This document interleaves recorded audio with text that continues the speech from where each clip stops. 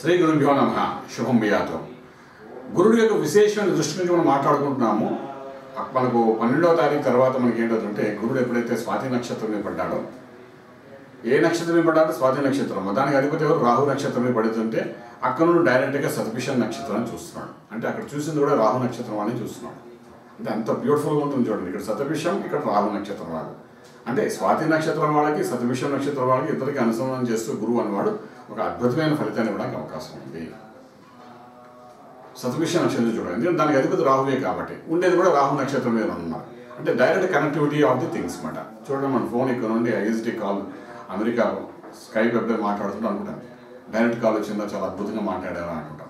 అలాగే ఈ ఫిఫ్త్ హౌస్లో అంటే ఫిఫ్త్ హౌస్లో నాట్ వన్ ఫిఫ్టీ డిగ్రీస్లో సతవిష నక్షత్రాన్ని ఎప్పుడైతే చూస్తారో అక్కడ ఆటోమేటిక్గా ఆ నక్షత్రంలో ఉన్న వాళ్ళందరినీ ఒక సత్ఫలితాలు కూడా ప్రయత్నం చేస్తారన్నమాట అదేవిధంగా మనం అశ్విని నక్షత్రం మూడో పాదం అంటే దాని కేతు నక్షత్రం అంటారు ఇక్కడ రాహు నక్షత్రంలో నుండి ఏడు నక్షత్రంలో చూస్తాం చూస్తారన్నమాట రాహు యొక్క ప్రభావంతో కేతు నక్షత్రాన్ని చూస్తాం. కమ్యూనికేషన్ స్కిల్స్ని ఇంప్రూవ్మెంట్ చేయడానికి ప్రయత్నం చేస్తాం.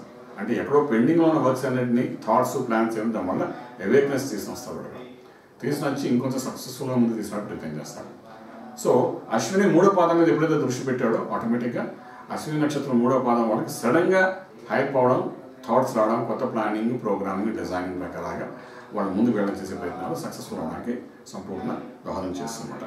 అదేవిధంగా అక్కడ నైన్త్ హౌస్కి వచ్చినప్పుడు ఏంటంటే ఇక్కడ మనకు ఆరుద్ర నక్షత్రం మొదటి పాదం అక్కడ మన రాహు యొక్క నక్షత్రం చూడండి.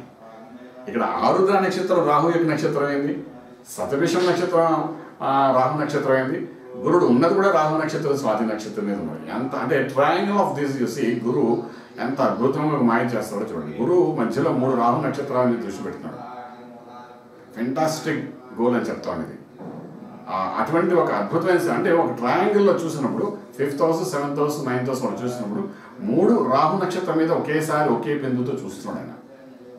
ఈ మూడు రాహు నక్షత్రం వాళ్ళకి ఎంత మెరాక్లెస్ థింగ్స్ మార్వలస్ థింగ్స్ చేస్తాడో మనం చెప్దాం ఇది చాలా అద్భుతమైన స్థితి.